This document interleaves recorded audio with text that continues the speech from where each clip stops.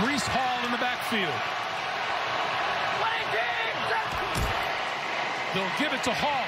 Looking for the end zone, and he did he get there? He lost the football. Looks like Tyler Conklin may have recovered the ball.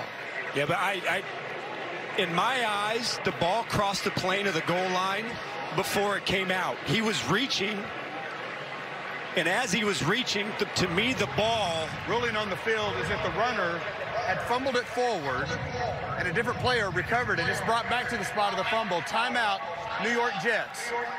That's their second, their 32nd timeout. So there's the ruling from Brad Rogers. Let's talk to Gene Steratore about it. Gene, you there?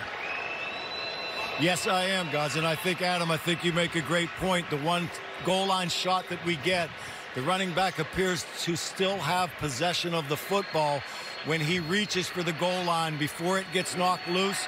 And I agree with you, Adam and Greg. If, if that ball breaks the goal line at all, the nose of that ball, it's a touchdown and the play's dead. Yeah.